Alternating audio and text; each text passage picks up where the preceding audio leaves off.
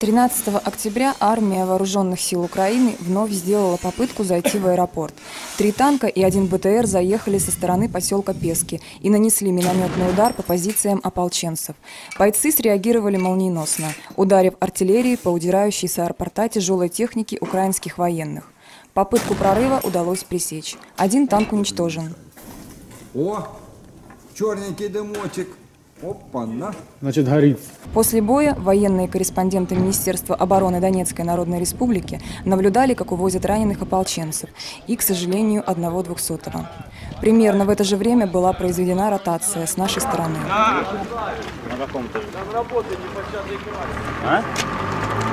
Следующие сутки по аэропорту и прилегающей территории в отместку били из РСЗО. Командиры Сомали и Спарта, Гиви и Моторола, по привычке уже не обращают на это внимания. Лишь изредка кричат на бегающих вокруг журналистов, чтобы прятались в безопасное место. А сами равнодушно пьют чай под свист минометов.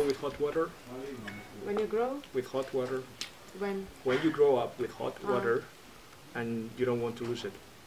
Ну, когда ты вырос с горячей водой, то не хочется ее потерять. Еще холодно тоже полезно мыть. Да, It's good for health to, take shower да, кстати, полезнее, особенно ноги. Особенно ноги, они тогда не будут вонять.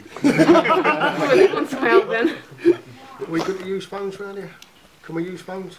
Можно пользоваться телефонами? Да, ради бога. Ну, мы сегодня позаберем его себе. Anyway, we will take it. Самое главное, чтобы iPhone целый остался. В перерывах нам удалось пообщаться с Гиви. А, Скажите, пожалуйста, а сколько процентов аэропорта сейчас уже в руках ополченцев? 99,9. Или как, мой, как бы я по-другому сказал, 125.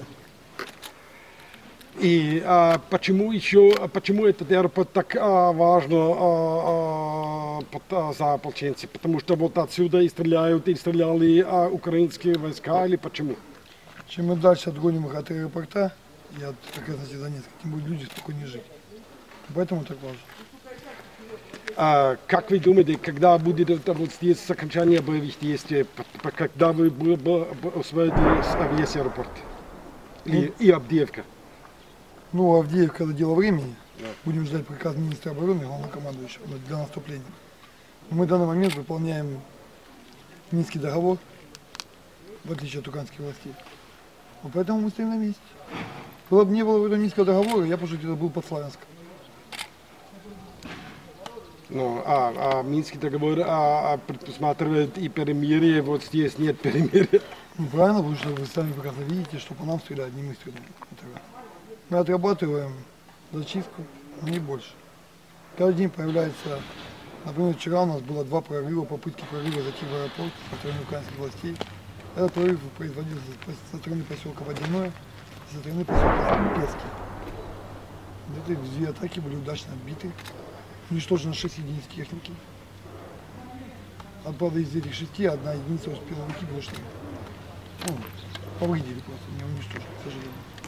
Но скажите, пожалуйста, а вы сказали, что вы, были, а, вы родились в Иловайске, мы снимали Иловайске а, сразу после окончания боевых действий, а, и вы, вы воевали в Иловайске, вы освободили Иловайск или как там? Да, Иловай с самого начала защищали мы. Моя, моя рота, мое подразделение, но к нам присоединился Моторола. Мы две недели удерживали атаки. После этого перешли на наступление, зажали их, взяли в окружение, очистили город Иловай, сделали зачистку. И потом пере- начали продвигаться дальше, день всё Оборотка. Гиви, а можно сказать, что вы здесь нуждаетесь в людях, в бойцах? У вас достаточно? Ну, Надо тоже своих достойных людей, люди достойные, которые действительно могут все, имеют все. Ну- Ну, самое, самое главное, что они уверены в себе, уверены в командовании. Это очень важно. Поверьте моим словам, мы с Моторола не герои. Это, блин, скажу еще. Герои это наши люди на передовых, наши артиллеристы, наши минометчики, наши пулеметчики. Скоро будет зима, у вас есть сейчас одежда за зиму, а вы, ваше подразделение хорошо приготовлено за зимские условия. Да, мы готовы. Мы готовы встречать зиму и весну, и лето. Но все равно. Война будет продолжаться столько, сколько и должна продолжаться. Пока мы не очистим Донецкую Народную Республику от нацистов. Еще вопрос в продолжение моей темы. Эм, забыла, что хотела спросить. На этот раз мне удалось выехать на полосу в сопровождении Гиви и его бойцов и посмотреть на все происходящее своими глазами. А где танк вонючий, который катается? Который, он находится за новым терминалом. Он сюда даже не показывает. А Он даже ну, у нас... вот новый терминал, покажи, пример, где он ориентируется. Где ориентируется? Вот новый терминал. Дайте я шучу. Да подожди, стой, блядь. Здорово. Этот, смотри. Вот там новый терминал, он вот так идет, новый терминал, вот сюда старый терминал. Вот, вот этот переход, вот он идет. Он, сука, вот здесь где-то катается. Ну, Короче, вот здесь вышка, вот здесь за новым терминалом, да? Да, вот здесь, возле вышки, он к нам не выезжает вообще. Да по идее, вот с той стороны хорошо должно быть видно. С стороны Да, церкви. да, да.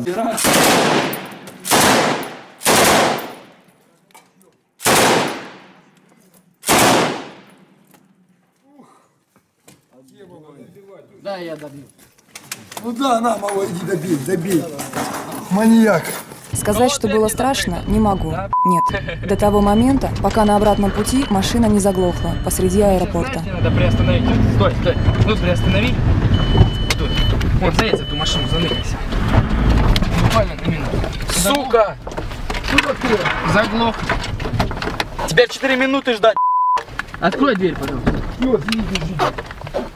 В смысле 4 минуты? 4 минуты, он не заводится теперь. К моменту возвращения на позиции вблизи аэропорта нас вновь стали обкладывать из тяжелых минометных орудий. Но это не помешало общению журналистов с командиром отдельного батальона Сомали Гиви. Если парни-бойцы захотят попасть именно в ваш батальон, что им для этого нужно сделать? Если они уверены в своих силах, если они отважные ребята. Могу даже сказать слово безбашенные. Значит, будем рады их видеть. Гиви также прокомментировал слухи о потерях со стороны ополченцев в районе аэропорта. Здесь столько людей, как они перечисляют, 700, тысяч, там, миллион. Не было здесь столько людей. Они дают сведения, каждый раз, я даже вот наслышан, правда или нет, ну, мне позвонили, сказали, по ука- один плюс один украинскому каналу, шла бегущая строка почти целый день, что Моторола погиб, я тяжело ранен, мы сдали аэропорт, отошли. Вы же прекрасно видите, что здесь происходит. Я живой, здоровый, слава богу. Моторола тоже, дай бог ему сто лет жизни. Ну, Так, а ты можешь сказать какие-то реальные цифры? Действительно, сколько солдат? Реальные цифры, да, я могу вам сказать, 27 человек погибших. Это честно, откровенно, я не скрываю. За какое время? За время, ну, три с половиной недели. Ну, не так, как они пишут, что при первой атаке мы потеряли там чертову тучу, тучу людей. Там, это ложь. Это правда ложь. Как было в Айске было, вспомните.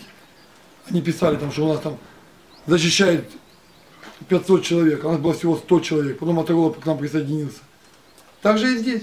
Понимаете, аэропорт для них теперь вообще стало дело принципа, когда здесь оказались я и Моторола. И Лавай до сих пор не могут простить. Ну, я обещаю, это не последнее, что мы взяли. Сколько процентов это 27 человек от а, вашего подразделения? Это будет тайна. И такой же, поймите, и также имеет, поймите, если мы возьмем аэропорт, отгоним их от Донецка, сюда можно спокойно самолетами открыть во- воздух. нам. Это, это транспорт, который будет летать, это транспорт, который будет передвигаться. В данный момент воздух закрыт над Донецкой Народной Республикой. И могу сразу сказать, что когда будет аэропорт под нашим контролем, мы его восстановим, потому что он очень сильно поврежден тяжелой артиллерии украинских властей. И будет работать опять заново. Я думаю, средств нас хватит, чтобы это все восстановить. Я верю в нашу республику, я верю в наше правительство. Верю в министра, в Министерство обороны, а именно Захарченко и Кононова, которые действительно толково и умело командуют нами, которые толково и дают четкие приказы, а не вот это вот маразм, который показывают и рассказывают. И хочу обратиться ко всем, кто по- поливает Захарченко и Кононова, что это не это ложь. Никого Захарченко и Кононова не трогают, а тем более славянские, славянские бригады. Я сам Славянска. У меня мой батальон 70% состоит из славянских ребят. Это ложь. И не нужно таких великих людей обливать грязью, которых действительно на самом деле нет.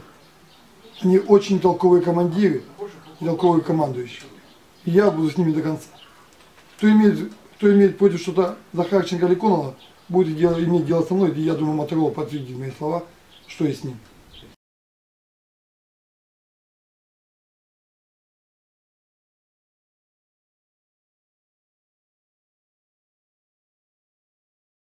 Черненький дымочек. Опа-на. Значит, горит.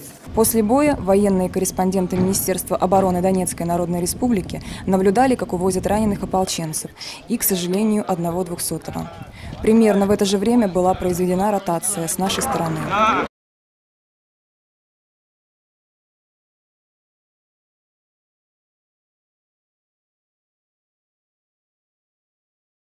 13 октября армия вооруженных сил Украины вновь сделала попытку зайти в аэропорт. Три танка и один БТР, бегающих вокруг журналистов, чтобы прятались в безопасное место. А сами равнодушно пьют чай под свист минометов.